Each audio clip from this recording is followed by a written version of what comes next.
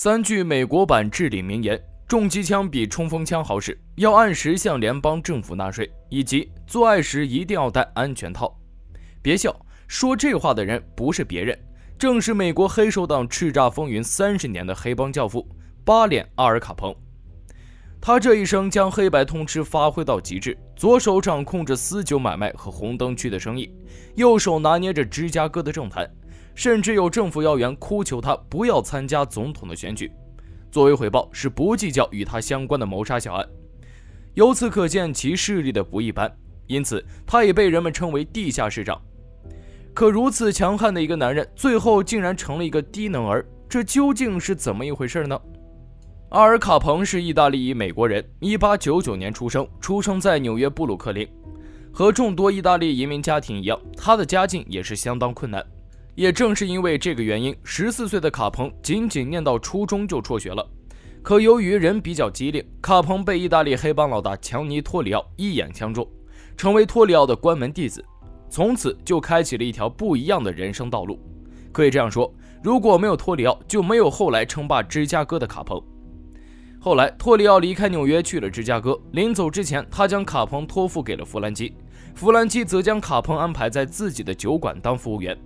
在当时的酒馆里，经常会有喝醉的人大打出手，有时候甚至会动刀子。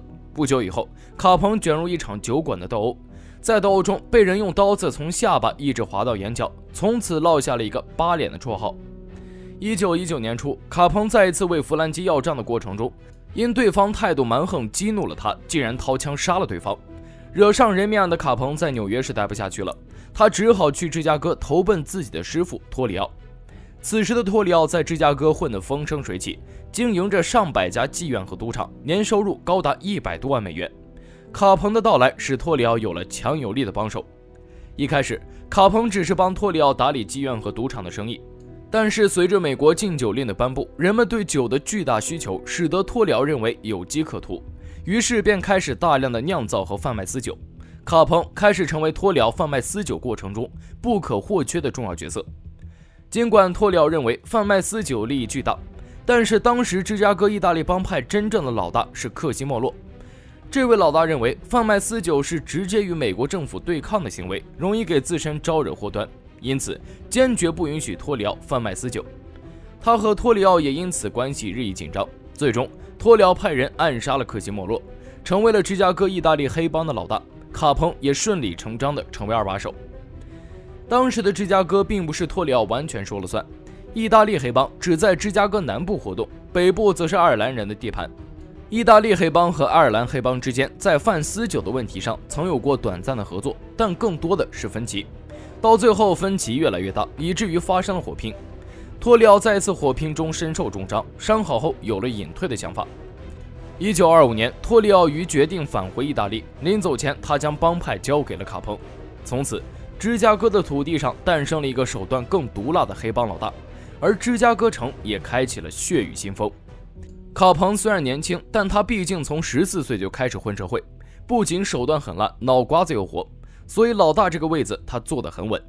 其实意大利黑帮在当时的芝加哥已经不算小了，但卡彭上位后却不满现状，他要扩张，搞更多的钱。于是乎，他打通了从加拿大走私威士忌到芝加哥的秘密通道，又搞到了几个地下酒厂，解决了供应链。下一步就是要垄断市场了。卡彭是想让芝加哥所有做酒生意的人都到他那儿进货，如若不从，那就炸。是的，直接用炸弹炸，简单粗暴。除了酒之外，风月场所、娱乐场所等等，都在卡彭的手中得到了急速扩张。帮派那是日进斗金。当时，意大利黑帮的年收入光酒业务就达到一千万美金，再加上别的买卖，每年轻松入账大几千万美金不成问题。要知道，这可是近一百年前的千万美金呢。当然，卡彭也明白树大招风的道理，所以他一般都是以商人的打扮出现，穿着得体的西装，叼着雪茄，出席各种商业活动。他常对外说：“我就是一个普通的商人，卖货的。”另外，白道方面，他会积极疏通，从法院到警局，再到办公室官员，他是能贿赂都贿赂，绝不吝啬。那时的芝加哥官场已经烂透了，严重腐败，甚至连当时的芝加哥市长汤普森都是卡彭一手扶持起来的。后来为了保证自己的安全，卡彭斥巨资购买了一辆卡迪拉克防弹轿车。这辆轿车在卡彭入狱后成为总统罗斯福的座驾。汤普森还明目张胆地将卡彭的照片放在办公室。意大利黑帮在卡彭的带领下发展迅猛，他在芝加哥成了帝王般的存在。初入社会的黑手党古惑仔在事业上定下的职业规划和偶像也是他。阿尔卡彭在这一年声望空前巨大，仿佛屹立在世界之巅。通过一场场血雨腥风的火拼，卡彭和他的手下先后除掉了爱尔兰黑帮头目奥巴年、韦斯、德鲁西，除掉了一个个阻挡他的障碍。但是仍然有一个心腹大患，那就是爱尔兰黑帮老大，绰号“甲壳虫”的莫兰。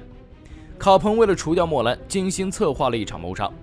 一九二九年二月十四日，卡彭得知当天莫兰会在一个车库内交易私酒，便派手下化妆成警察，以搜查为名，将包括莫兰在内的七人全部干掉。此后的十个月内，卡彭和手下频频出击，使用了冲锋枪、手榴弹在内的武器，甚至动用了重机枪，除掉了三十三名对手。从此，爱尔兰黑帮再也没有能力同意大利黑帮争雄。卡彭成了芝加哥名副其实的老大，动静太大，影响太恶劣，即便芝加哥政府想遮掩也费劲。事情曝光，震惊整个美国社会，联邦政府和人民对此表示十分愤怒。正逢胡佛总统上位，又赶上世界级大萧条，整个美国社会的戾气愈发浓重。为了控制住局面，重拾美国经济增长，恢复法律秩序，胡佛觉得要是不做点什么，好像很难出政绩。刚好卡彭的事儿就传了过来，胡佛总统决定大干一场。他在白宫进行了一次秘密会议，这次会议直接决定了卡彭的命运。最终的结论是全面调查卡彭，将其黑帮势力瓦解掉。方向虽然定得很好，但经过了一番调查，调查人员是彻底蒙圈了。虽然将意大利黑帮控制的酒厂捣毁了不少，娱乐场所也进行了清扫，但查来查去，竟然没有查到卡彭犯案的实质性证据。这倒不是警方的无能，而是卡彭深谙混世之道。他明白，可以做老大，可以干坏事，可以闹出人命，但是唯一不能的就是留下把柄。所以他本人一直保持两手干净，一些黑活脏活都是安排手下去干，他自己尽量避免官司，甚至他买房都不用自己的名字，他名下也不登记任何财产，所以警方才一直查不到他的犯罪的证据。调查人员也是无奈，实在是没得。那有意思的来了，调查组在某次聊天时，突然有人就提了这么一嘴：“你说卡彭这么有钱，都买别墅了，他会不会逃税呀？”“对啊，他那么有钱，其中肯定有见不得光的，这是一个很好的突破口。”经过调查，发现卡彭在1925年到1929年确实有多项收入没有合法交税，只能说卡彭千算万算，却万万没想到他最终是栽在了这里。很快，卡彭就以二十二项逃税罪被起诉，但卡彭似乎并不担心，因为他早有安排。在被起诉之后，他花了五万美金获得保释，然后火速行动，打听清楚了陪审团成员，并且花费重金将所有陪审团都给收买了。卡彭本以为此计是万无一失了，可是他万万没想到，就在开庭前几分钟，法官突然将陪审团跟旁边一个庭的陪审团对调了。一九三一年十月十七日，法院认定。卡彭在一九二五到一九二九这五年内，一共收入为一百万零三万八千六百五十四美元，逃税二十一万五千美元。他因五项逃税罪被判十一年有期徒刑，另处以五万美元的罚款，还有七千六百九十二美元的审判费用也得出，逃税的利息也要补上。一九三二年五月，三十三岁的卡彭被送往亚特兰大监狱，这时的他已经被确诊患有梅毒和淋病。这是经常混迹风月场的代价。虽然被病痛所折磨，但他凭借自己的影响力，在监狱过得还不错，受到不少特殊照顾。但在一九三四年八月，他被转移到了臭名昭著的恶魔岛监狱，这里条件非常恶劣。卡彭的影响力在这里丝毫没有作用，他只能老老实实的服刑。更要命的是，他的病已经慢慢侵蚀他的智力了，精神状况越来越差。一九三九年十一月十六日。卡彭的妻子以卡彭病情加重向法院提起诉讼，并成功获得了假释。出狱后的卡彭回到巴尔的摩的医院进行治疗，后来又回到了他在佛罗里达州的豪宅。后来经医生鉴定，这个时候他的智商仅仅相当于一个十二岁的小孩。在各种病痛的折磨下，卡彭于一九四七年初结束了他罪恶的一生。卡彭在一九二五年突然的成为了意大利黑帮老大，到一九三一年被捕入狱。虽然他在老大的位子上只待了七年，但他却成为美国黑帮教父级的人物。他升级了黑帮之间暴力冲突的手段，经常拿手榴弹开刀，然后就是标志性的汤姆逊冲锋枪。他甚至被人调侃成汤姆逊冲锋枪的代言人。有了这两件武器的加持之后，芝加哥黑帮的火拼导致了更多的人丧命。整个1920年到1930年，有超过500起黑帮之间的凶杀案，据说直接死在卡彭手上的就有好几十人。当时在芝加哥，他黑白道通吃，是霸主一样的存在，是名副其实的芝加哥土皇帝。纵观世界级黑帮教父，卡彭绝对不是最富有的，也不是最凶残的，但是却是影响力最大的。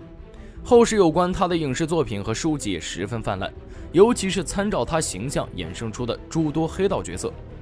可他最后的结局也足以警示后人，一定要做一个知法守法的好公民。此后多年，关于这个黑道之王的宝藏传说也一直为人们津津乐道。可后期因为受疾病影响了他的智商，导致最后这批宝藏不知所踪。当时这就是个传说，至于真假，可能要等到宝藏现世那天才能证明吧。本期节目到这里就结束了。如果你喜欢我们的影片，欢迎订阅我的频道。我是权力者游戏，我们下期节目再见。